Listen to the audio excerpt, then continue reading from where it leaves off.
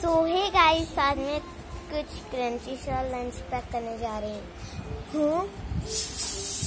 तो मैंने यहाँ पर देखो चिप्स वगैरह। मतलब चिप्स नहीं है तो अंकल चिप्स है, ये पिकनिक है।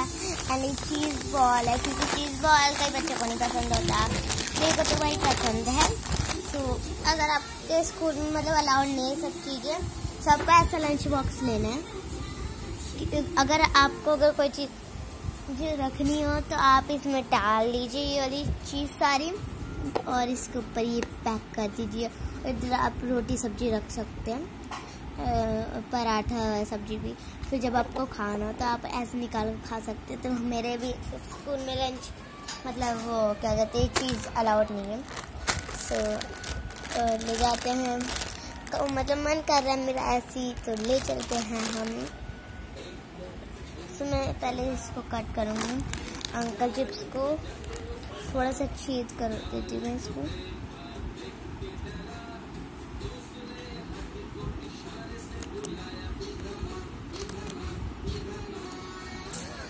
जिससे इसकी सारी हवा निकल जाए।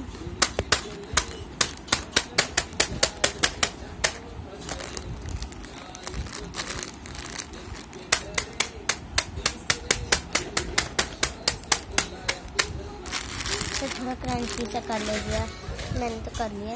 आपको अगर करना हो तो कर लीजिएगा। आप अपने मनपसंद लंच कोई सा भी रख सकते हैं। मैंने तो ये रखा है। हाँ मतलब जो आपको दिख रहा है, वो रखा है मैंने। थोड़ा सा निकाल कर रखूँगी।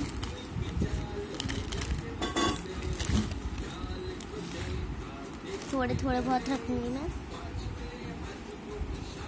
अब मतलब हम कहते पिकनिक की अनबॉक्स पिकनिक को हम क्रैश नहीं करना पिकनिक क्योंकि ऐसे अच्छा लगता है।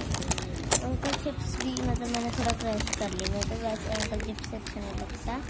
अच्छा मतलब मतलब हम क्रैश नहीं करते तो। अगर चीज़ नहीं क्रैश होती, वो नहीं करती मैं।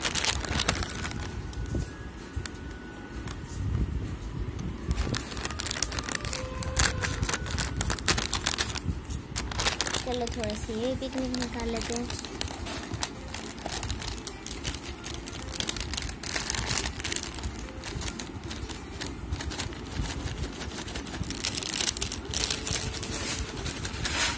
पिकनिक ज़्यादा लिए मैंने, मेरे को पिकनिक बहुत ही पसंद है, इसको मैं मिक्स कर लूँगी। एंड आती चीज़ बॉल वाली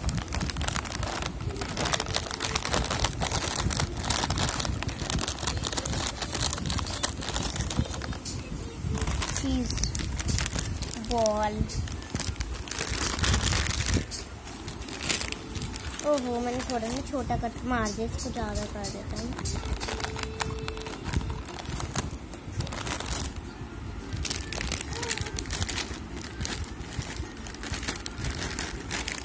चीज़ बॉल वाह। मेरा मन कर रहा खाने का।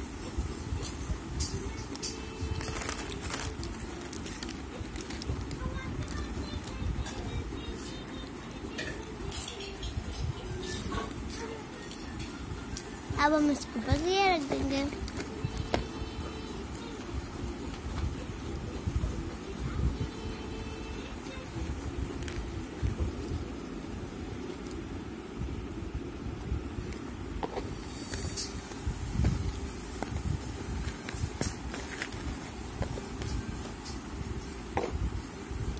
तो ये रख